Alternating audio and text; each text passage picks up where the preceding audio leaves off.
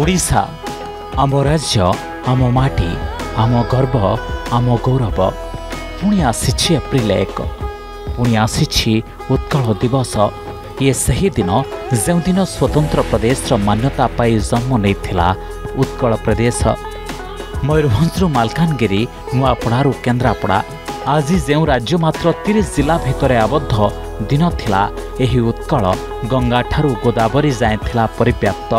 ଉଣେଇଶହ ଛତିଶ ମସିହାରେ ଯେତେବେଳେ ଇଏ ନୂଆ ପରିଚୟ ପାଇଲା ସେତେବେଳେ ଭାଷା ଭିତ୍ତିରେ ଭାରତରେ ଗଠନ ହେଲା ପ୍ରଥମ ରାଜ୍ୟ। ଯାହାର ନାଁ ହେଲା ଓଡ଼ିଶା। ଏହି ସ୍ୱତନ୍ତ୍ର ଓଡ଼ିଶା ପ୍ରଦେଶ ଗଠନ ଦିଗରେ ମୁଖ୍ୟ ବିନ୍ଧାଣୀ ସାଜିଥିଲେ ଆମ ମାଟିର ବୀରପୁତ୍ର। ଊନବିଂଶ ଶତାବ୍ଦୀର ଶେଷ ଭାଗରେ ଯେତେବେଳେ ସାରା ଦେଶରେ ବ୍ରିଟିଶ ବିରୋଧୀ ଆନ୍ଦୋଳନ ଜୋର ଧରିଲା ଓଡ଼ିଶାର ସ୍ୱାଧୀନଚେତା ବ୍ୟକ୍ତିବିଶେଷ ବି ସାମିଲ ହେଲେ ସେହି ଧାରାରେ। କିନ୍ତୁ ଓଡ଼ିଆଙ୍କ ସାମ୍ନାରେ ଥିଲା ଦୁଇ ଦୁଇଟି ଆହ୍ୱାନ ଦେଶ ମାତୃକାକୁ ଫିରିଙ୍ଗି ଶାସନରୁ ମୁକ୍ତ କରିବା ଓଡ଼ିଆ ଭାଷାର ସୁରକ୍ଷା ଓଡ଼ିଆ ଭାଷାଭାଷୀ ଅଞ୍ଚଳଗୁଡ଼ିକ ତତ୍କାଳୀନ ମାଡ୍ରାସ କଲିକତା ଓ ବିହାର ପ୍ରେସିଡେନ୍ସି ଅଧୀନରେ ମିଶି କରିଥିଲେ ତେଣୁ ଓଡ଼ିଆ ଭାଷା ଦକ୍ଷିଣରେ ତେଲୁଗୁ ପଶ୍ଚିମରେ ହିନ୍ଦୀ ଏବଂ ଉତ୍ତରରେ ବଙ୍ଗଳା ଭାଷାର ପ୍ରଭାବରେ ଅସ୍ତିତ୍ୱ ରକ୍ଷା ପାଇଁ କରୁଥିଲା ଲଢ଼େଇ ବଙ୍ଗଳା ରାଜନେତାଙ୍କ ଚକ୍ରାନ୍ତ ଯୋଗୁଁ ଇଂରେଜ ସରକାର ବି ଧରି ନେଇଥିଲେ ଓଡ଼ିଆ ଏକ ଭାଷା ନୁହେଁ ବ୍ରିଟିଶ ସରକାର ଦ୍ୱାରା ପ୍ରତିଷ୍ଠା କରାଯାଇଥିବା ବିଦ୍ୟାଳୟଗୁଡ଼ିକରେ ଓଡ଼ିଆ ଭାଷା ବଦଳରେ ଓଡ଼ିଆଙ୍କୁ ବଙ୍ଗଳା ପଢ଼ାଯାଉଥିଲା। ଓଡ଼ିଆ ଭାଷା ବିରୋଧରେ ଏହି ଚକ୍ରାନ୍ତ ଅଧିକ ଘାତକ ହେବା ପୂର୍ବରୁ ଭାଷାର ସୁରକ୍ଷା ପାଇଁ ଆଗକୁ ଆସିଥିଲେ କେତେକ ସ୍ୱାଧୀନ ଚେତା ଓଡ଼ିଆ।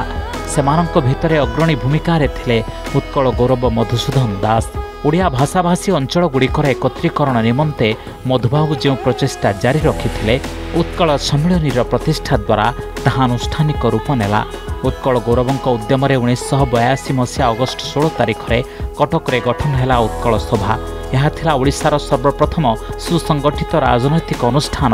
ଉତ୍କଳ ସମ୍ମିଳନୀର ମହାସିନ୍ଧୁରେ ନିଜର ପ୍ରାଣବିନ୍ଦୁ ମିଶାଇ ଦେବା ପାଇଁ ସବୁ ଓଡ଼ିଆଙ୍କୁ ଉତ୍କଳ ଗୌରବ ମଧୁସୂଦନ ଦେଲେ ଆହ୍ୱାନ। ପରବର୍ତ୍ତୀ ସମୟରେ ଉତ୍କଳ ସମ୍ମିଳନୀ ହିଁ ସ୍ୱତନ୍ତ୍ର ଓଡ଼ିଶା ପ୍ରଦେଶ ଗଠନର ମୁଖ୍ୟ କର୍ଣ୍ଣଧାର ପାଲଟିଲା। ଖୁବ୍ ସଂଘର୍ଷମୟ ଥିଲା ସ୍ୱତନ୍ତ୍ର ଉତ୍କଳ ପ୍ରଦେଶ ଗଠନର ଇତିହାସ। ଉତ୍କଳ ଗୌରବ ମଧୁସୂଦନଙ୍କ ଆହ୍ୱାନରେ ଏହି ମହାଯଜ୍ଞରେ ସାମିଲ ହେଲେ ପାରଳା ମହାରାଜା କୃଷ୍ଣଚନ୍ଦ୍ର ଗଜପତି ମୟୂରଭଞ୍ଜ ମହାରାଜା ଶ୍ରୀରାମଚନ୍ଦ୍ର ଭଞ୍ଜଦେଓ ଉତ୍କଳମଣି ଗୋପବନ୍ଧୁ ଦାସ ବ୍ୟାସକବି ଫକୀରମୋହନ ସେନାପତି ସ୍ୱଭାବ କବି ଗଙ୍ଗାଧର ମେହେର ଓ କବିବର ରାଧାନାଥ ରାୟ ପ୍ରମୁଖ। ଏମାନଙ୍କ ସହ ଆହୁରି ଶହ ଶହ ମନୀଷୀଙ୍କର ନିରନ୍ତର ପ୍ରଚେଷ୍ଟା ଯୋଗୁଁ ଏପ୍ରିଲ ଏକ ଉଣେଇଶହ ଛତିଶରେ ଭାରତର ପ୍ରଥମ ଭାଷାଭିତ୍ତିକ ରାଜ୍ୟ ଭାବେ ସ୍ୱତନ୍ତ୍ର ଉତ୍କଳ ପ୍ରଦେଶ ଗଠନକୁ ସ୍ୱୀକୃତି ଦେଲେ ବ୍ରିଟିଶ ସରକାର। ତେବେ ଏହି ସଫଳତା ଦେଖିବା ପୂର୍ବରୁ କୁଳବୃଦ୍ଧ ମଧୁସୂଦନ ଦାସଙ୍କର ପରଲୋକ ହୋଇସାରିଥିଲା।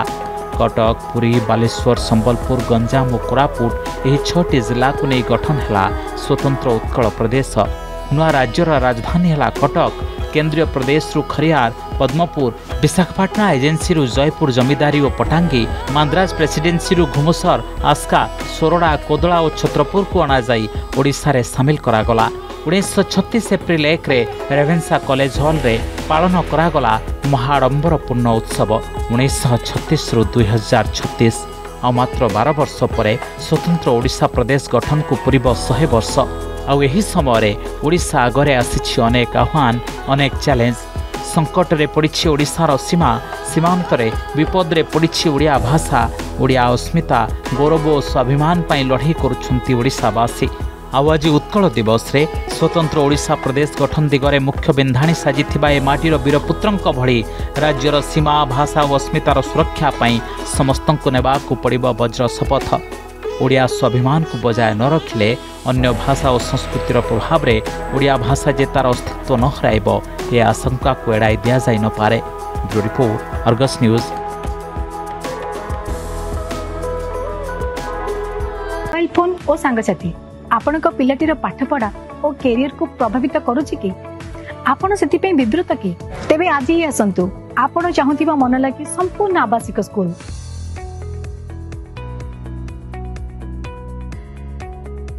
टीएससी गुरुकुल, गोठपाटण, भुवनेश्वर। जदि आपण को आम भिडी भल लगा तेब आम चेल को लाइक सेयार और सब्सक्राइब करने को जमा भी बुलां नहीं।